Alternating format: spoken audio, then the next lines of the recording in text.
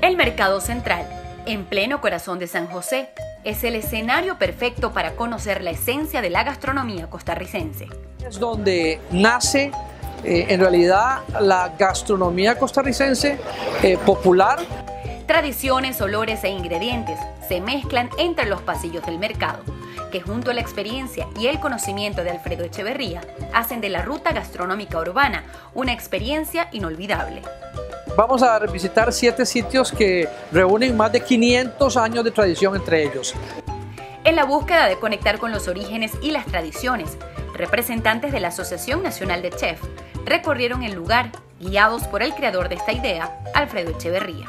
Aprender, ¿verdad? Y dar a conocer todo lo que es este, las bases de la gastronomía costarricense, principalmente la energía que se, que se recibe aquí. Aparte de eso, la historia, la historia que encierra.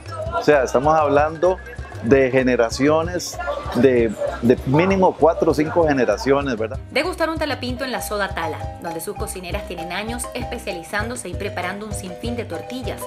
Maridar una cerveza local con un delicioso ceviche de la pescadería El Rey en la cantina El Gran Vicio, una de las más antiguas de Latinoamérica y que funciona ininterrumpidamente desde hace 136 años para luego almorzar rodeado de ticos en la soda cristal, donde usted puede elegir entre un sinfín de platos típicos o una contundente olla de carne, capaz de levantar un muerto.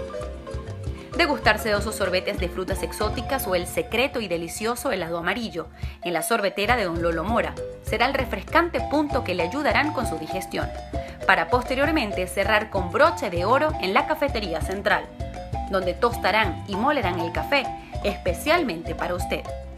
Conozca y disfrute de la gastronomía costarricense desde sus entrañas, de la mano de Alfredo Echeverría, una experiencia que no olvidará.